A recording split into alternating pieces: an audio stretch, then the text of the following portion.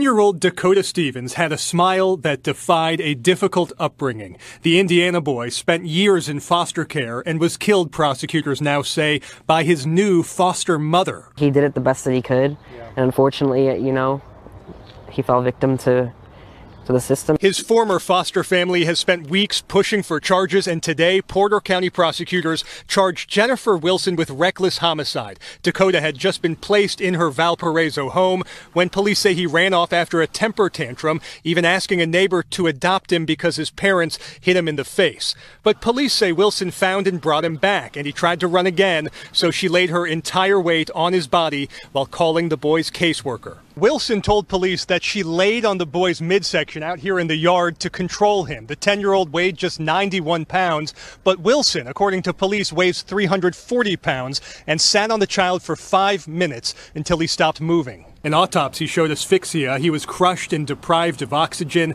and ring camera video shows the boy crying and then silence. For her to lay on him like that and not, it's like she didn't care you know? Yeah. That's pretty disturbing. Mike Bryant and other neighbors were outside that April afternoon. Felt horrible for that little boy.